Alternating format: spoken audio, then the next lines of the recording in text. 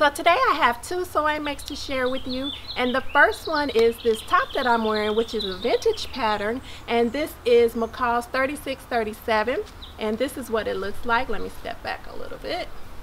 And this is actually also a scrapbuster top. Both of these fabrics were left over from some dresses that I made and I have previous videos about those dresses. This is what the top looks like in the back. I tried to get creative um, with the straps and I made the front strap white and then I made the back strap like the, the yellow color. And what else? I like the way that the casing was done in the middle because they had you use bias tape. So I used bias tape and then you just thread the elastic through the bias tape. So I like that.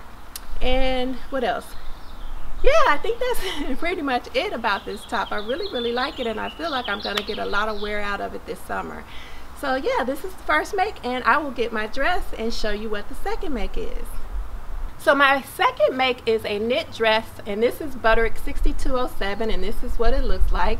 It's just a pull-on dress and it does have the curved hem at the bottom. And another feature that I like about this dress is on the sleeves, the lower half of the sleeves, there's actually a seam there. And I like that feature, even though you can't see it on mine that very well because the because the fabric is all one color. I do like knowing that that feature is there. I think it's pretty cute.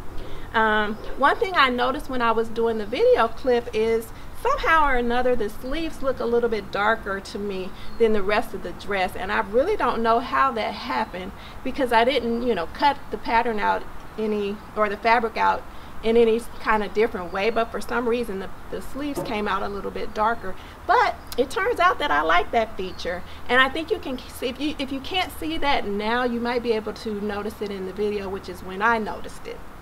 So yeah, I will go ahead and show you what this dress looks like on.